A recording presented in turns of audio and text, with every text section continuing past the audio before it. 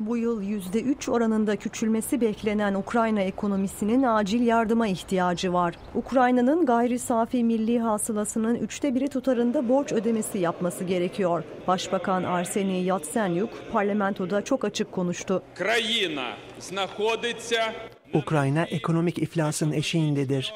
Ukrayna ekonomisini istikrara kavuşturma sözü veren IMF yetkilisi Nikolay Gorgiev, 18 milyar dolar acil yardımda bulunacaklarını ayrıca başka kredi garantilerinin de söz konusu olduğunu söyledi.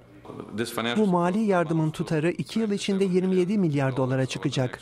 Ancak Avrupa Birliği Komisyonu Başkanı Olli Rehn'e göre kurtarma paketi Ukrayna'nın kemer sıkma politikalarına evet demesine bağlı. Uh, uh, Mali yardım Ukrayna'nın giderek kötüleşen ekonomisini istikrara kavuşturacak. Yardım paketi bu nedenle krize barışçı çözüm bulunmasının hayati önem taşıyan bir parçası. Uluslararası toplumun yardıma koşması Kiev halkını heyecanlandırsa da kimileri paranın nasıl harcanacağı konusunda şüpheli. Bizi boşuna umutlandırıyorlar. Çünkü bu borç paradır. Borçların geri ödenmesi gerekir. Eğer yolsuzluk yapılır, paralar çalınırsa bu borcu halk ödemek zorunda kalacak. Bu da büyük haksızlık. Amerika'da Ukrayna'ya yardım etmek için girişimlerde bulunuyor. Kongrenin her iki kanadı da Ukrayna'ya 1 milyar dolarlık kredi vermeyi onayladı.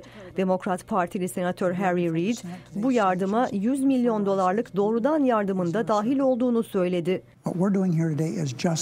Bu yaptıklarımız daha başlangıç. Ukrayna halkını desteklemek için adım atan Senato'daki tüm meslektaşlarımla gurur duyuyorum. Cumhuriyetçi Senatör Lindsey Graham ise daha fazla adım atılması gerektiği görüşünde. Now, Amerika ve NATO'daki müttefikleri Rusya yanlılarının tahrip ettiği orduyu yeniden kurmaları için Ukrayna halkına savunma silahları vermeli mi? Bana göre bu sorunun yanıtı evet. Çünkü Putin'e gözdağı vermek istiyorsanız Kırım'da ödediği bedelden çok daha ağırını ödetmeniz gerek. Amerika Rusya'yı daha da tecrit etmek için yeni yaptırımları tartışmaya devam ediyor. Ancak bazı uzmanlar yeni yaptırımların hem Amerika hem de Avrupa ekonomisine zarar verebileceği uyarısında bulunuyor.